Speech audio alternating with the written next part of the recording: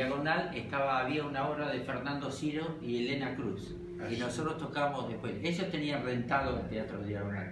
Sí. Y nos dejaron tocar después que terminaba la obra. Y Pierre Bayona era el que organizaba. Y Lito Neve vino porque Pierre Bayona lo llamó con Winca.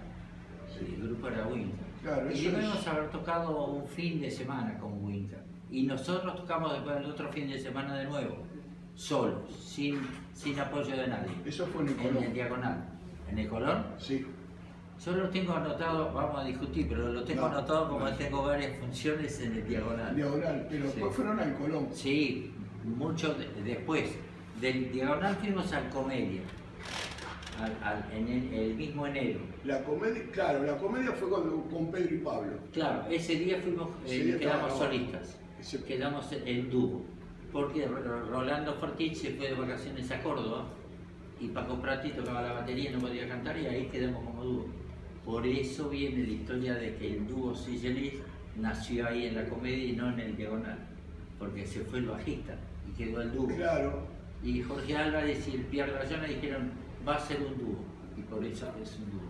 mira, yo lo que, lo que me acuerdo de, de- de comedia es que Charlie trajo un teclado, no tenía pie, y ahí había una, una obra, Sí. y había unos muebles de caña. Sí, sí, tengo fotos. Y, y Charlie apoyó el teclado ahí y se le movía todo.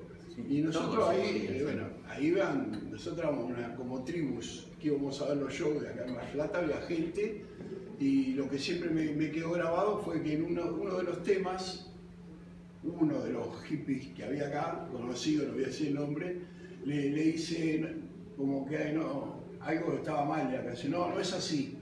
¿Viste? Y Charlie estaba cantando. Dice, para mí sí, loco. Y nos quedó grabado eso, ¿viste? para mí sí, loco. Y siguió tocando el tema. Y todos se quedaron como muy prendados con, con el show de Sui Generis ese día. Sí, fue una sorpresa porque eh, venía Pedro y Pablo que tenía la marcha de la broma Sí, y estaba- que se estaba arriba La todo. gente iba a ver a Pedro y Pablo. Claro, obviamente. Yo llevé a mi gente, cuando yo fui a ver a Lito Nevia, eh, fui solo. Nosotros un grupito lado. Me dice, che, ¿qué tal estuvo Lito? No, mira, vos sabés que vino un flaco, así, así. Entonces cuando vinieron con Pedro y Pablo, Mm. yo dije, mira, están estos flacos. Eran flacos. Y fuimos como a ver eso, muchos quedaron más pegados con el show de